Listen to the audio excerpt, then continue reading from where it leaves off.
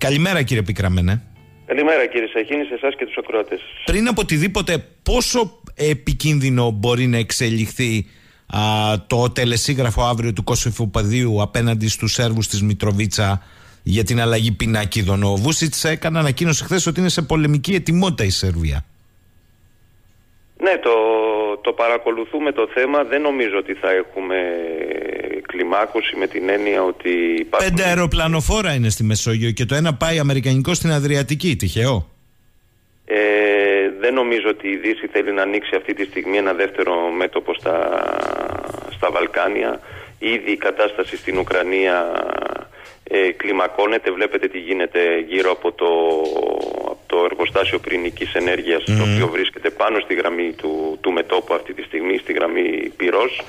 Ε, το παρακολουθούμε το θέμα. Δεν θα ήθελα αυτή τη στιγμή να, να επεκταθούμε γιατί υπάρχει συνεχής ροή πληροφοριών και πρέπει αυτά να τα αξιολογούμε όλα με, με ψυχραιμία. Άρα λέτε ότι είναι πιο ελέγξιμη κατάσταση σε αυτή τη φάση τουλάχιστον; Ναι, θεωρώ ότι είναι πιο, πιο ελέγξιμη κατάσταση και ο Βούτσιτς δεν είναι, δεν είναι ένας πολιτικός. Μπορεί να προέρχεται από την λεγόμενη λαϊκίστικη δεξιά, κάποιοι λένε ακροδεξιά, εθνικιστική δεξιά της Σερβίας, αλλά είναι ένας άνθρωπος ο οποίος ρίχνει, βάζει πάντα νερό στο, στο κρασί του και είναι άνθρωπος ο οποίος ε, θέλει πάντα να έχει και διπλωματικές ε, επιλογές δεν, δεν συμφέρει κανέναν μια κλιμάκωση αυτή τη στιγμή στα Βαλκάνια. Μάλιστα. Το κρατώ...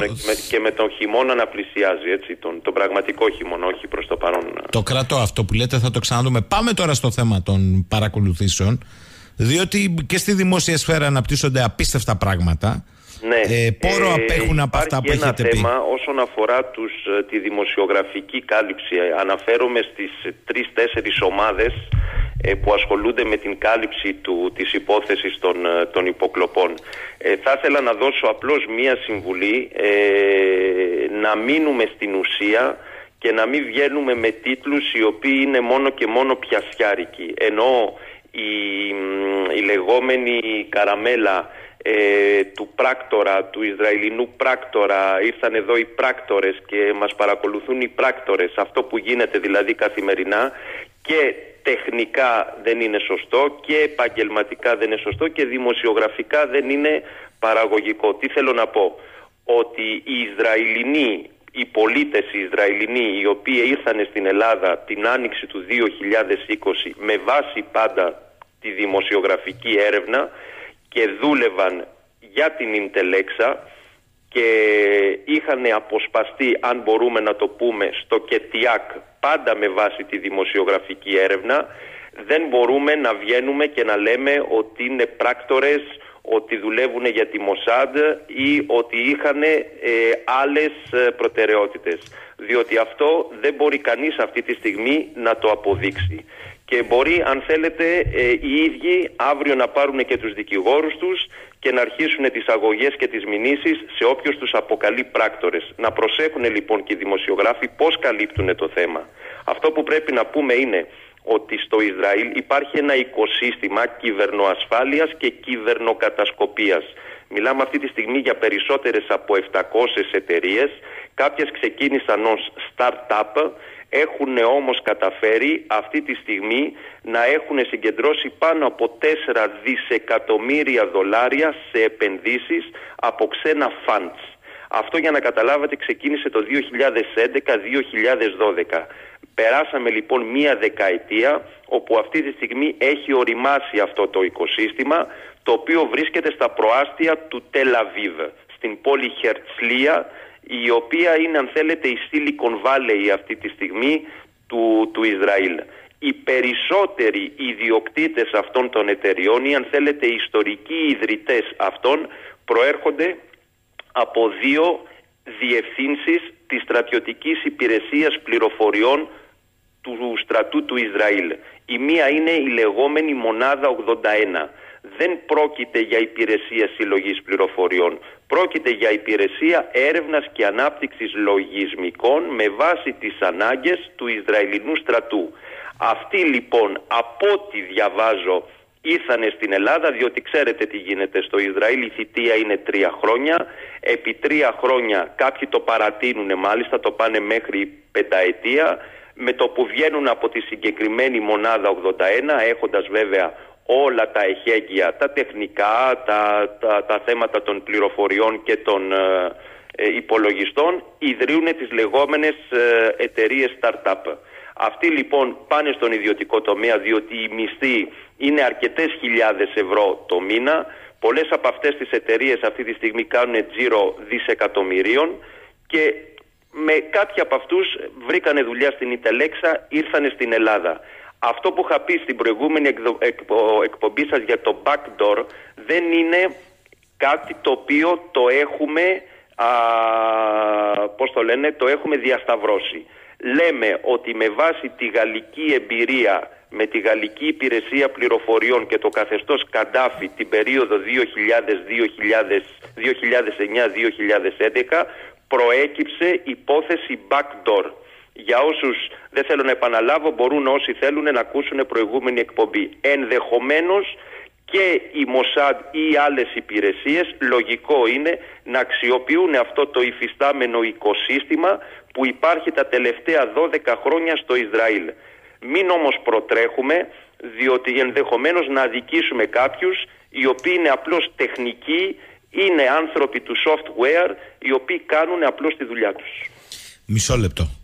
Ε, ναι. αυτό που λέτε για τους ε, πολίτες να το καταλάβω. Αλλά ναι. θέλετε να με πείσετε τώρα ότι οι χώρες αυτές οι προηγμένες που έχουν τη δυνατότητα ε, στο σύστημα να έχουν και πίσω πόρτα ναι. ε, σοβαρά τώρα δεν το βλέπουν αυτό το σύστημα της πίσω πόρτας; Το βλέπουν, είναι μεγάλος πειρασμός, αλλά να ξέρετε κάτι.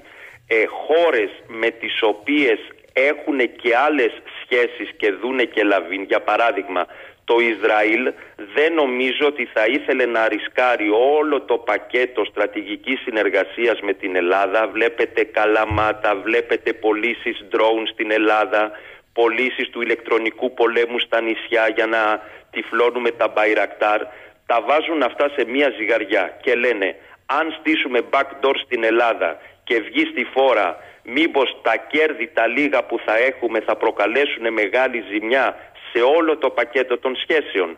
Γι' αυτό λοιπόν θέλω να είμαι από τώρα ε, συγκρατημένος σε προβλέψεις το βάζω ως ενδεχόμενο αλλά πρέπει να τα ζυγιάσουμε αυτά τα πράγματα. Σε άλλες χώρες γίνεται σουρωτήρι, πραγματικό σουρωτήρι, αλλά πρόκειται για χώρες με τις οποίες το Ισραήλ δεν έχει στρατιωτικές σχέσεις. Είναι ένα μικρό πελατάκι για να το πούμε. Αυτό δεν σημαίνει ότι δεν πρέπει να ψάξει η δικαιοσύνη με τεχνικούς. Άκουσα μάλιστα τον κύριο Βαξεβάνη εχθές προχθές είπε ότι όταν πήγα στην εισαγγελία οι ίδιοι εισαγγελείς μου είπανε ότι δεν έχουμε τεχνικούς εμπειρογνώμονες να μπορέσουμε να συνεχίσουμε την έρευνά μας. Οι άνθρωποι λέει τους δημοσιογράφους ρωτούνε για το πώς λειτουργεί το σύστημα. Αυτά δεν είναι σοβαρά πράγματα. Αν δεν υπάρξει τεχνικό κλιμάκιο δίπλα στους εισαγγελείς δεν μπορούμε να προχωρήσουμε τη διαδικασία. Το καταλαβαίνετε. Ε, τώρα θέλω να μου πείτε η ΑΔΑΕΚ έκανε μια πρώτη έτσι δημόσια ανάρτηση στο πλαίσιο της διαβούλευσης. Ναι, τη διάβασα. Ε, η οποία λέει ότι το νομοσχέδιο δεν διασφαλίζει τα βασικά. Ναι, νομίζω το είχαμε πει εμείς και ναι, την ναι. προηγούμενη φορά ότι η κατάσταση η οποία ήταν του 94, μια κατάσταση με ένα νόμο 28 ετών, απαρχαιωμένο, ο οποίος δεν είχε επικαιροποιηθεί, αυτή τη στιγμή ε, χειροτερεύει το θέμα διότι όχι μόνο εγγυήσεις δεν υπάρχουν αλλά και αυτό το ελάχιστο που έκανε η ΑΔΑΕ μέχρι τώρα μπαίνουν θεσμικά υπόδια. Εγώ με τις άποψεις το είχα πει από την αρχή η ΑΔΑΕ να μην ασχολείται καθόλου με τα θέματα των νομίμων συνακροάσεων είτε από την ΕΕΠ είτε από την αντιτρομοκρατική διότι παράλληλα με αυτά ασχολείται και πώς λειτουργούν τα ΕΛΤΑ, πώς λειτουργούν οι ταχυμετηφορείς, πώς λειτουργούν οι πάροχοι κινητής και σταθερής τηλεφωνίας δεν προλαβαίνουν στην ΑΔΑΕ διότι δεν έχουν ούτε το μπάτζετ ούτε τα πρόσωπα. Αν υιοθετηθεί λοιπόν το γαλλικό μοντέλο που σημαίνει δημιουργείται μια ad hoc αρχή στην οποία μέσα υπάρχουν και δικαστική λειτουργοί και άνθρωποι από το ασφάλειας επικοινωνιών ενώ τεχνική του κλάδου που να ασχολείται αποκλειστικά με τις τεχνικές μεθόδους συλλογής πληροφοριών. Δηλαδή αυτό που λέμε νόμιμες συνακροάσεις, να αποδεσμευτεί η ΑΔΑΕ και να μην έχουμε αυτό το μπαλάκι και αυτό το πόλεμο που έχει ανοίξει τώρα με την κυβέρνηση ότι άλλα σας λέμε άλλα κάνετε, ότι δεν μας προσκαλείτε στον κοινωνικό διάλογο κλπ. κλπ. Να πάμε λοιπόν σε μια επαγγελματική αρχή η οποία θα ασχολείται αποκλειστικά με αυτό το θέμα, με τεχνοκρατική ε, αν θέλετε κατάρτιση και υποδομή. Η ΑΔΑΕ ας ασχοληθεί με όλα τα άλλα, διότι υπάρχουν και οι άλλοι τομείς που αφορούν τις, ε, τις επικοινωνίες. Αλλά αυτό αν θέλετε είναι μια άλλη κουβέντα. Αυτό που βλέπουμε τώρα είναι ότι εν ολίγης, αυτό που έχει προτείνει η κυβέρνηση κατά 90% θα περάσει από την Βουλή και θα προκύψουν πολύ περισσότερα θέματα από ό,τι έχουμε μέχρι τώρα. Διότι μόνο η έννοια της δημόσιας υγείας σε όλο αυτό που λέγεται εθνική ασφάλεια πρέπει αυτά κάποια στιγμή να αποκωδικοποιηθούν ποιους αφορούν, ποιους επαγγελματικούς κλάδους, μέχρι πού μπορούν να φτάσουν οι νόμιμες συνακροάσεις. Μπαίνουμε λοιπόν σε επικίνδυνα, αν θέλετε, ε, παιδεία, τα οποία δεν νομίζω να μπορεί κανένας να τα, να τα ελέξει. Θα, θα, να, να το πω διαφορετικά, θα, θα χαθεί μπάλα. Θα χαθεί μπάλα και εντός της Βουλής δεν υπάρχουν οι επιτροπές, οι κοινοβουλευτικές για να μπορούν να ελέξουν όλα αυτά. Η Επιτροπή Θεσμών και Διαφάνειας είναι ένα ανέκδοτο. Δεν είναι μια επιτροπή που μπορεί να ασχοληθεί με υπηρεσίες πληροφοριών. Οι βουλευτές δεν γνωρίζουν το αντικείμενο, δεν έχουν από πίσω βοηθούς τεχνοκράτες να μπορούν να εξετάσουν τις όλες αυτές οι υποθέσεις και η χώρα θα, θα έχει μια εικόνα ξέφραγκου αμπελιού. Ναι, εντάξει, ε, για τους βουλευτές τώρα τι να σας πω. Εδώ ρωτήθηκε υπουργός και είπε ότι και που με ακούνε θα πλήξουν ακούγοντάς με και αν θα πάει να ρωτήσει για το τηλέφωνο του και απάντησε όχι δεν πάω για να μην επιβεβαιώσει τις φήμες. Δηλαδή, αφήστε ναι. το τώρα αυτό. Ακούστε εδώ, υπάρχουν ερωτήματα όμως των ακροατών του The Point. Ναι. Ελληνικά δηλαδή.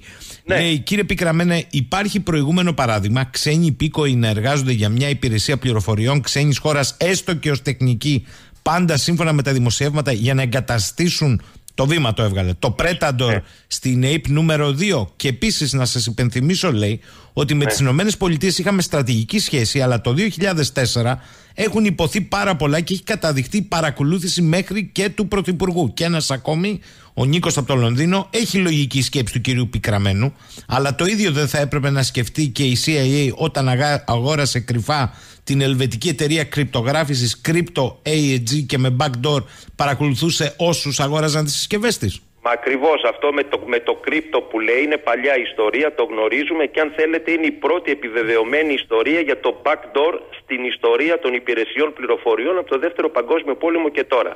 Αυτό που λέω είναι ότι οι άνθρωποι που εργάζονταν στην Ιντελέξα είναι άτομα τα οποία έχουν υπηρετήσει στον Ισραηλινό στρατό σε συγκεκριμένες δομές οι οποίες είναι τεχνικού χαρακτήρα, δεν είναι πρακτοριλίκοι, δεν είναι υπηρεσίες πληροφοριών. Αν θέλετε υπάρχει μια τεχνική διαφορά. είναι άνθρωποι κύριε που αναπτύσσουν τα software. Σύμφωνοι, αλλά και στην Κύπρο, ακούστε, ακούστε κύριε Πικραμένε, να μ' ακούτε. Εντάξει, ναι. έχετε δίκιο, είναι τεχνική. Αυτό δεν σημαίνει ότι δεν κάνουν τη δουλειά για κάποιους άλλους. Και στην Κύπρο με το βανάκι τους πιάσαν, σας θυμίζω, στο πάρκινγκ. Ναι, ε. θέλω να πω ότι αν δεν έχουμε αυτή τη στιγμή ατράνταχτα. Ξέρετε, είναι άλλο να λέμε ότι υπάρχει υποψία. Να έχουμε ατράνταχτα στοιχεία ότι αυτοί οι Αυτό δεν είναι δουλειά των δημοσιογράφων. την επαγγελματική τους καριέρα Κύριε Πικραμένε, μισό λεπτό. Ταυτόχρονα ήταν και Μάλιστα. assets. Ήταν δηλαδή πράκτορες με την έννοια ότι λειτουργούσαν και για υπηρεσίες πληροφοριών. Δεν μπορούμε αυτή τη στιγμή να, να το τεκμηριώσουμε. Δεν Οι δημοσιογράφοι ας είναι λίγο επιφυλακτικοί. Κύριε Επικραμένε, δεν με ακούτε. Ακούστε. Ναι. Εγώ θα, θα μιλήσω για το συνάφι μου, να το πω έτσι. Με συγχωρείτε. Ναι. Οι δημοσιογράφοι δεν είναι δουλειά τους να φέρουν αυτά τα στοιχεία, αν είναι ή δεν είναι. Δουλειά είναι της δικαστικής και της άλλης αρμόδιας αρχής. Οι δημοσιογράφοι από τη στιγμή που έχουν μία εικασία, μία πληροφορία, δουλειά τους είναι να μην την κουκουλώσουν και να τη δημοσιοποιήσουν. Βέβαια, μην μη, μη χάσουμε λιγάκι και την μπάλα των βασικών αρχών της δημοσιογραφίας γιατί θα τρελαθώ εδώ. Λε και είναι ο διώκτη ο δημοσιογράφη αυτή τη στιγμή με βάση τις ανοιχτές πηγές, τις οποίες μπορεί ο καθένας να γκουγκλάρει και να δει, είναι ότι η συντριπτική πλειονότητα των ιδρυτών και των υπαλλήλων εταιριών κυβερνοασφάλειας και κυβερνος, κυβερνοκατασκοπίας στο Ισραήλ προέρχονται από τεχνικές μονάδες της στρατιωτικής υπηρεσίας πληροφοριών Αυτό ξέρουμε. Από εκεί και πέρα, μπορώ εγώ να πω σήμερα, αύριο, ποιος είναι πράκτορας και ποιος όχι, όχι; Όχι, αυτό δεν μπορεί να το πείτε. Δεν μπορώ.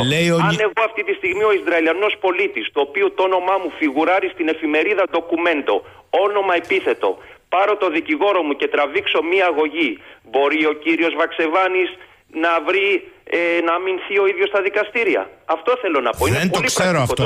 δεν το ξέρω αυτό. Διότι βγάζουμε στο, βγάζουμε φάσεις Μα ακούτε κύριε Πικραμένε, δεν ακούτε. Στα πρωτοσέλιδα. Το καταλαβαίνετε. Δεν ακούτε. μπορεί να θυχτεί εκείνη τη στιγμή. Ωραία. Πει, Πού το ξέρεις κύριε ότι εγώ είμαι πράκτορας. Κύριε Πικραμένε, με ακούτε; Να με ακούτε ναι. όμως. Γιατί Βεβαίως. ακούτε τη φωνή σας. Λέω αυτό ναι. δεν το ξέρω, αν διαθέτει στοιχεία ή όχι. Θέλω να μου απαντήσετε στο φίλο τον Νίκο. Κύριε ναι. Πικραμένε, Πώς έγινε το σαμποτάζ στις Ιρανικές εγκαταστάσεις φυγοκέντρησης ουρανίου από Αμερικανικές αλλά κυρίως Ισραηλινές υπηρεσίες και μάλιστα πάνω σε εξοπλισμό αγορασμένο από Siemens βιομηχανικό PLC με λογισμικό Trojan Horse πάνω σε εξαρτήματα ναι, φυγοκεντρικών. Λοιπόν. Αυτό δεν συνέβη λέει πριν 15 χρόνια με την τεχνογνωσία και τις δικτυακές δυνατότητες του τότε.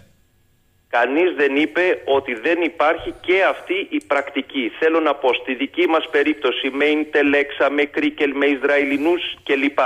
Μπορούμε αυτή τη στιγμή ε, να βγαίνουμε και να λέμε ο τάδε είναι πράκτορας και ο τάδε όχι. Για ακούστε το Μιχάλη τι σας λέει όμως. Μισό λεπτό, κύριε, κα... κύριε Πικραμένα, ακούστε. Αλλά δεν είπα ότι το backdoor έγινε. Είπα ότι με βάση τη διεθνή εμπειρία μπορεί να υπάρχει και αυτός ενδεχόμενο προς έρευνα από την εισαγγελία. Μάλιστα. Λέει εδώ λοιπόν ο φίλος μου ο Μιχάλης από τη Ρόδο. Ναι. Εντάξει κύριε Πικραμένα, λέει το καταλάβαμε. Άρα ναι. με τη δική σας λέει συλλογιστική, όταν ένα άτομο φεύγει από τη ΜΙΤ, ναι. τεχνικό κομμάτι, να τους παίρνουμε. Είναι τιμή. Αυτό θέλω με να μισό λεπτό, πω. ακούστε. Μα... Θα το πω διαφορετικά. Κύριε Πικραμένε. Ένας... Μισό λεπτό. Όχι, όχι, κύριε Πικραμένε, όχι, όχι, όχι έτσι. Όχι έτσι. ΓΕΣΑ, κύριε Πικραμένε, όχι έτσι. Δεν με ακούτε. Με συγχωρείτε. Ναι. Θα ακούτε και θα απαντάτε στο συγκεκριμένο. Με συγχωρείτε. Ναι. Αυτό λέει. Δουλεύανε σε κα... τεχνική σε κάποιες Ισραηλινές υπηρεσίες και ήρθαν εδώ σε... με ιδιωτικές εταιρείες. Γιατί λοιπόν να μας κακοφανεί αν κάποιος δούλευε τεχνικός στη ΜΙΤ και ήρθε σε μια ιδιωτική υπηρεσία; Δεν κατάλαβα, λέει, τι αλλάζει. Έχει άδικο άνθρωπος. Αυτό όσον αφορά το βιογραφικό του. Μπορούμε όμως να πούμε ο, ο Γιώργος, ο Κώστας, ο Πέτρος αυτή τη στιγμή βρίσκονται σε διπλή υπηρεσία, δουλεύουν και, με, και, για, μια, και μια, για, μια, για τη Μοσάντα αυτή τη στιγμή μπορούμε να πούμε ότι δουλεύει ο Τάδε και ο Τάδε. Δεν μπορούμε. Δεν μπορούμε και δεν μπορούμε να το βγάζουμε και αυτό προς τα έξω. Μπορεί ε, ας κάνουν μήνυση στο Βαξεβάνι. Ακούστε κύριε Επικραμένε. Νομίζω ότι εδώ πιάσατε, πιάσατε το ζουμί και βλέπω εδώ τις αντιδράσεις. Και καλώς πιάσατε το ζουμί εσείς. Αλλά μου λένε εδώ πολύ εύστοχα. Ναι. Μα και ο Βαξεβάνης αυτό λέει. Κάντε μου μήνυση. Αυτό λέει. Ελάτε, κάντε μου. Αφού τα λέω ψεύτικα, κάντε μου μήνυση. Εδώ τώρα, εγώ δεν θέλω να μπούμε σε αυτό το τρυπάκι. Μισό λεπτό, μισό λεπτό. Μισό λεπτό.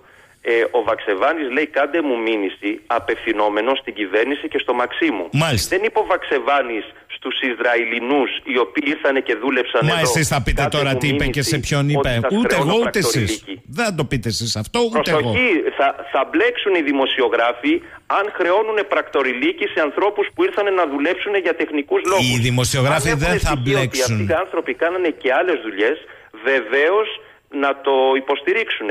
Αλλά προσοχή, μην ξεφύγει το πράγμα. Ε, κύριε Πικραμένα, μισό λεπτό, γιατί νομίζω ότι υπάρχει και σε εσάς μια σύγχυση. Δεν είναι δουλειά των δημοσιογράφων, σας το ξαναπώ για πολλωστή φορά. Ε, τα έχουμε μπερδέψει. δεν είναι. Ε, ακούστε, ακούστε, α, ακούστε, δεν είναι εισαγγελής. Με έναν άνθρωπο. Κύριε Πικραμένο, όχι έτσι. Όχι, τον βλέπω όχι έτσι. Και με τον τίτλο παρακολουθούνται. Εσείς έχετε στοιχεία λοιπόν να υποστηρίξετε ότι είναι ένας απλός τεχνικός υπαλληλό. Έχετε αυτά τα στοιχεία; Εγώ. Ναι. Εγώ θα το αποδείξω. Ε, τότε μην ενδιαφέρεστε.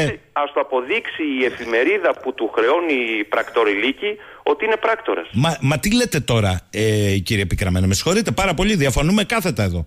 Ε, οι, οι δημοσιογράφοι έχουν μία ένδειξη, την οποία φέρνουν μπροστά δημόσια. Με συγχωρείτε πάρα πολύ, δεν είναι το ίδιο. Ε, γιατί σας βλέπω μιλάτε με μία βεβαιότητα. Εσείς πώς είστε σίγουρος ότι είναι αμυγός τεχνικός υπάλληλος; Για πείτε μου. Ξεκινάμε από το δεδομένο ότι. Όχι, ξέρετε ποιο είναι το δεδομένο; Ξέρετε ποιο είναι το δεδομένο; Ότι η εταιρεία αυτή την οποία αναφέρετε ναι. έχει εγκατασταθεί μέσα σε κτίριο της ΕΕΠ. Ναι. Και από αυτό το κτίριο της ΕΕΠ γίνονται παρακολουθήσεις. Τι μου λέτε τώρα, Αυτό είναι το δεδομένο. Ναι, ε, ότι λοιπόν... γίνονται παρακολουθήσεις, γίνονται. Γίνονται παρακολουθήσεις υπό εντολή της Μοσάντ. Ποιο μπορεί να το Αυτό δεν θα το πω ούτε εγώ ούτε εσείς. Αυτό σας λέω. Θα το πει μία έρευνα αρμόδιας αρχής. Δεν είναι Ας δουλειά. το κάνουν λοιπόν. Δεν είναι Μέχρι δουλειά τότε δημοσιογράφου Μπορούμε εμείς αυτή. να βγαίνουμε και να λέμε ποιος είναι πράκτορας και ποιος όχι. Μέχρι τότε όμως ο δημοσιογράφος και η δημοσιογραφική έρευνα από αυτά που αναδεικνύει θέτει ερωτήματα. Με συγχωρείτε. Είναι άλλο να θέτεις το ερώτημα και άλλο να βγαίνεις με τίτλο χωρίς ερωτηματικό. Κοιτάξτε, εγώ δεν είμαι δικηγόρος των εφημερίδων.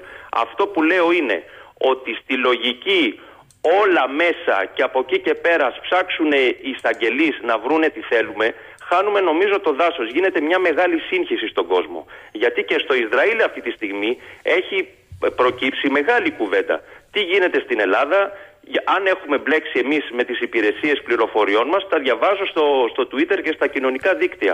Α είμαστε λοιπόν λίγο πιο προσεκτικοί και λίγο πιο λεπτομερείς.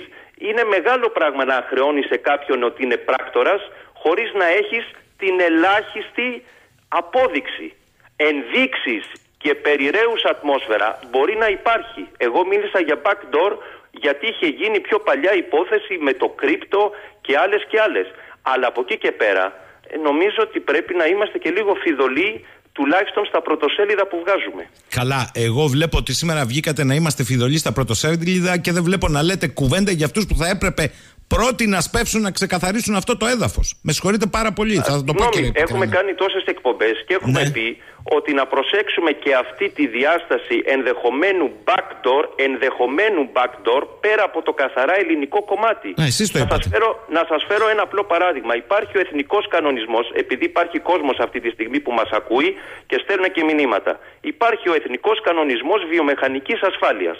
Αυτός εκπονείται από το πέμπτο κλάδο του ΓΕΘΑ. Αφορά δηλαδή αυτό που λέμε αν έχω πρόσβαση σε μία εγκατάσταση η οποία είναι ευαίσθητη του κράτους για θέματα εθνικής ασφάλειας. Να λοιπόν ένα θέμα που πρέπει να εξετάσει και ο εισαγγελέας, αν οι συγκεκριμένοι Ισραηλινοί πολίτες αλλά και οι Έλληνες πολίτες εκτός ΕΙΠ που ήταν εντός του ΚΕΤΙΑΚ και τρέχανε το Πρεταντόρ είχαν περάσει τη λεγόμενη δα- διαδικασία ε, για την εξουσιοδότηση χειρισμού όλων αυτών των εγκαταστάσεων. Συνέβη αυτό. Μέχρι όμως να γίνει αυτό δεν μπορώ εγώ να βγαίνω ή οποιοδήποτε και να λέει αυτοί που ήρθανε σώνει και καλά είναι πράκτορες της Μοσάτ. Μπα περιπτώσει, εγώ ξέρω ότι είναι ξένοι υπήκοοι που εργάστηκαν στην ε, Εθνική Υπηρεσία Πληροφοριών. Και αυτό τι σημαίνει, ότι Ε, σώνει δεν- και καλά ο άλλος είναι Να πράκτορας σα το πω επειδή είναι διαφορετικά. ξένος Να σας το πω διαφορετικά, λοιπόν, κύριε Πικραμένε, και εδώ να τελειώσουμε. Θέλετε να μου πείτε ότι αν η τεχνική ήταν Ρώσοι, δεν θα υπήρχε θέμα κατασκοπίας στη χώρα; Δηλαδή, αν η τεχνική είναι Γερμανή τη Siemens, σημαίνει ότι είναι πράκτορες της BNP. Εγώ σας ρώτησα κάτι συγκεκριμένο και για τους Γερμανούς που λέτε. Με αυτό σας λέω. Ναι. Μην Δεν πούμε θα αυτή τη θε- λογική, δεν ότι θα όποιος αντίθετα. έρχεται από το εξωτερικό ε, είναι σώνει και καλά πράκτορας μιας υπηρεσίας. Πρέπει να τα δούμε αυτά τα θέματα. Μην μη βγαίνουμε με τσιτάτα μόνο και μόνο για να κάνουμε ντόρο δημοσιογραφικό. Αυτό θέλω να πω. Εγώ πάντως ε, θεωρώ ότι καλώς οι συνάδελφοί μου θέτουν και δεν είναι μόνο ο κύριος Βαξεβάνης, είναι το βήμα, είναι τα νέα, είναι η ομάδα του κυρίου Τέλογλου. Με συγχωρείτε, είναι η εφημερίδα συντακτών. Ναι, Καλώ. δεν βγαίνουν όλοι όμως καλώς- Περισσότερο είναι η ομάδα Βαξεβάνη. Μα που- για διαβάστε που το λίγο. έχει- Όχι, κύριε που- Πικραμένε, τώρα με συγχωρείτε πάρα πολύ, θα σας κατακεραυνώσω εγώ. Έχετε διαβάσει το δημοσίευμα του βήματος; Ναι, βεβαίως. Μάλιστα. Για υπαλλήλους με της. τα ονόματα των Ελλήνων αστυνομικών Μάλιστα. Και- στο, στο ΚΕΤΙΑΚ. Και υπαλλήλους Ιντελέξα, οι οποίοι βοηθούσαν τους αστυνομικούς αυτούς στο ΚΕΤΙΑΚ. Ναι, ή όχι; Ναι, Ε, λοιπόν, τι άλλο θέλετε; ό,τι τι. Ότι τι, τι. Τους βοηθούσαν για να παρακολουθούν με το τεχνικό σύστημα. Τι άλλο θέλετε; Ναι, ότι τους παρακολουθούσαν με στόχους που είχε ορίσει ποιος. Εκεί, είναι, εκεί κολλάει το, το σίδερο. Είναι στόχοι που τους είχε ορίσει η Μοσάντ, η άλλη υπηρεσία, ή είναι στόχοι ελληνικού ενδιαφέροντος. Μα σοβαρά τώρα αυτό Μπορεί είναι να το είναι θέμα. και τα δύο. Δεν Α, το γνωρίζουμε. Αλλά αυτή τη στιγμή έχουμε αποδείξεις. Είναι σημαντικό αυτό που σας το λέω. Μάλιστα. Εντάξει. Καταγράφηκε Ε- η άποψή σας και η διαφωνία μας επί του θέματος. Κύριε Δεν Πικραμένε. υπάρχει, να σας πω κάτι, κατ' ουσίαν δεν υπάρχει διαφωνία. Αυτό που θέλω να πω είναι ότι η εισαγγελία αυτή τη στιγμή δεν έχει τεχνικούς εμπειρογνώμονες για να το προχωρήσει. Μακάρι να φτάσει μέχρι στο τέλος αυτή η υπόθεση. Αν προκύψουν διπλοί πράκτορες που δουλεύανε για υπηρεσίες πληροφοριών εξωτερικού, βεβαίως να βγουν και διεθνή εντάλματα. Δεν ξέρω πόσοι από τους Ισραηλινούς πολίτες θα έρθουν να καταθέσουν γιατί έχουν την φωλιά τους λερωμένη ή για άλλους λόγους, αλλά δεν νομίζω ότι αυτό που κάνουμε να χρησιμοποιούμε τη λέξη πράκτορας ανα πάσα στιγμή για τον οποιοδήποτε, νομίζω ότι βοηθάει να καταλάβει ο κόσμος ε, την, ε, την υπόθεση. Μάλιστα. Εγώ πάντως διατελώ πάντα με την απορία αν οι τεχνικοί υπάλληλοι του Ισραήλ μπορούν να δουλέψουν οπουδήποτε όταν έχουν δουλέψει σε πολύ ευαίσθητα δεδομένα του κράτους τους. Διατη, διατηρώ και για κάθε μυστική υπηρεσία, όχι μόνο του Ισραήλ και των ΗΠΑ και της Ρωσίας. Εγώ διατηρώ σοβαρές επιφυλάξεις ότι έρχονται αφ' αυτού στον λοιπόν, ιδιωτικό τομέα. Ε, Εγώ. αυτό ναι, υπάρχει, είναι, είναι μια προσέγγιση. Η άλλη προσέγγιση λέει ότι αν τους κάνουμε αυστηρό έλεγχο με background με το ένα μετάλλο μπορούμε πραγματικά να, να αποκλείσουμε αυτή την πιθανότητα. Υπάρχουν δύο, δύο σχολές προσέγγισης αυτό. Από εκεί και πέρα ξέρετε πόσος κόσμος λειτουργεί, μάλλον εργάζεται στην Ελλάδα σε τεχνικά κομμάτια οι οποίοι είναι πολίτες ξένων κρατών και ενδεχομένως κάποια στιγμή να έχουν περάσει και από υπηρεσίες πληροφοριών. Αυτή τη στιγμή που μιλάμε. Στον ιδιωτικό τομέα, όχι δεν μπορεί να πει κανείς ότι Μάλιστα, δεν υπάρχει. στον ιδιωτικό τομέα όμως. και καλά, όλοι αυτοί είναι ενδυνάμει πράκτορες. Στον ιδιωτικό τομέα μιλάτε. Στον ιδιωτικό τομέα μιλάτε. Μην μπερδευόμαστε, κύριε Πικραμένα. Στον ιδιωτικό τομέα. Είναι έτερον εκάτερον. Δεν είναι το ίδιο πράγμα. Με συγχωρείτε.